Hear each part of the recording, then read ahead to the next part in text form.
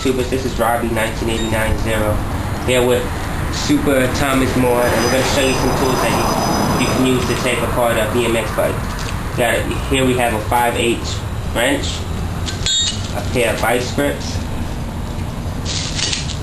flat screwdriver, a smaller flat screwdriver, For your optional use, a hammer,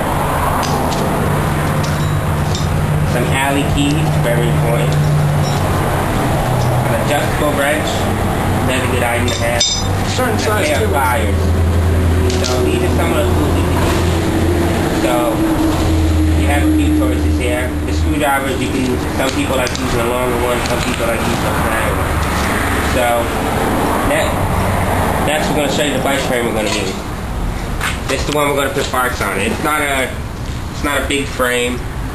It's just. like a it's 12 just- year old kid, I would say. it's just a frame we found that we decided to put the parts on it just to show you what parts you're going to, just to show you how to put it together. Okay, so you got the frame, everything. Alright, so here's the, here's everything we're going to use. So, uh, so, put it, so we're right now, I can get that. here you go, Super Thomas, sit down. Thank you. I forgot which way it went. And he's going to be taking the pedal off. Now, if you get like rusted bolts like this, such a pain in the ass. You may want to spray it with some WD-40 if you have some. But don't use that in the crank because you will eat the bearings alive. I found that fact out from my 2009 Haro, which I totally messed up.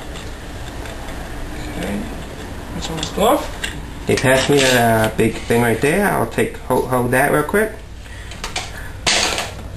The right pedal is off, to the left. Can't Okay, turn this loose. Oh, tightening it. then we're taking it off right here. I better slip in. You just pop that off. Put that washer right here. Okay, Thomas Moore. Tom, Super Thomas Moore, take that off. Now he's using a flat screwdriver that But since I don't like those big ones, you can use the big ones or small ones for optional reasons. Or they do sell special tools like this, but since I don't have that money right now as I speak, I'm going to be updating. Yeah, I'm just your hand with that. You're in a weird angle. Yeah. Plus I was tightening it, which that won't help.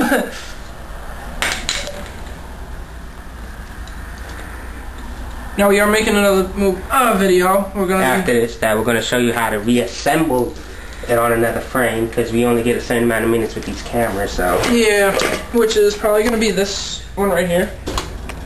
Rocket machine magnet. not a great frame, but you know. We'll get the job done from point A to B. And once you take these brackets off, there's these bearings in here that just, just shake it a bit. We'll show you what those look like. Bearings look like this. Do not spray these with any type of WD-40 or they will totally blow up. And that is not easy to change. Will not blow up, but it will eat away the grease and may uh, cause a little friction, make it a little rough to drive. Here's the crank with the pedal still on it. Okay. Which note, you do not have to take that pedal off. You can only take the right one off if you want to take the crank off. So, Okay, hold the bike on the proper chain. This bike does not have a master link, so I already popped it off, but it's very easy. You just take a screwdriver, wedge it in here, and then you hit it with a hammer, and then this part will just come down.